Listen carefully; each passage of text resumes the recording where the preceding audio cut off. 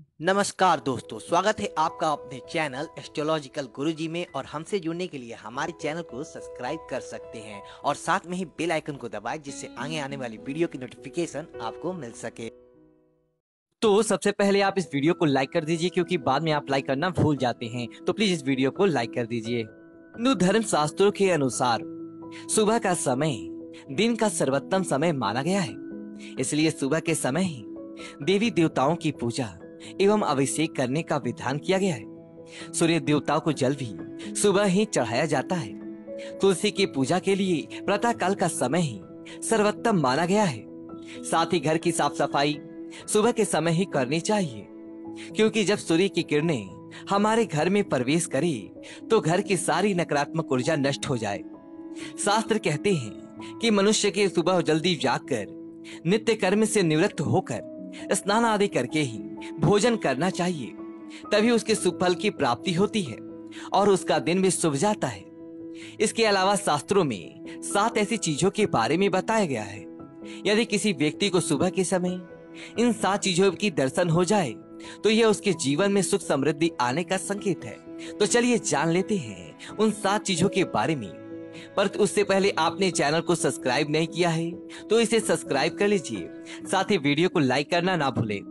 पहली चीज़, अगर किसी व्यक्ति को सुबह के समय अपने आसपास जल का पक्षी या सफ़ेद रंग का फूल दिखाई दे तो उसे समझ जाना चाहिए कि उसके दिन अच्छा बीतने वाला है, क्योंकि ये दोनों को ही शांति का प्रतीक माना गया है। दूसरी चीज़, सुबह के समय उठते ही अगर आप द्वार पर गाय दिखाई दे या उसकी आवाज़ सुनाई दी तो समझ जाना चाहिए कि वह दिन बहुत ही शुभ जाने वाला है।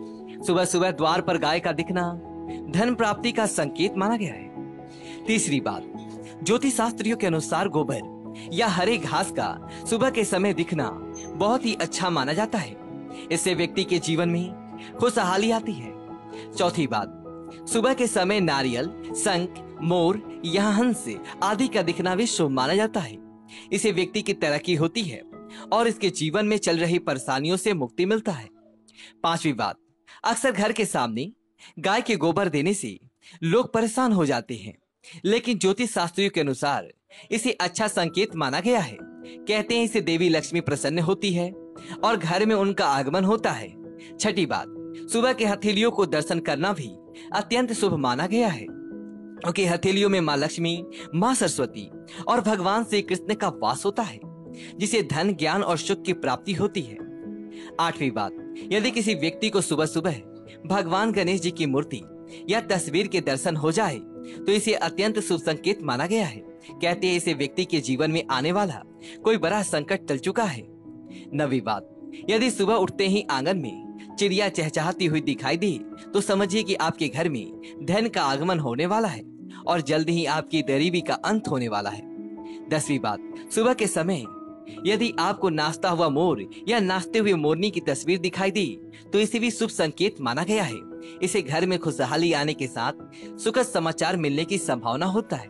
तो दोस्तों, यह थी वह दस चीज़ें जिनका सुबह के समय दिखना अत्यंत शुभ माना गया है। अगर ये वीडियो आपको अच्छी लगी तो वीडियो को लाइक करिए और कमेंट बॉक्स में जय लक्ष्मी माता लिखिए और हमारे चैनल को सब्सक्राइब करें धन्यवाद दोस्तों।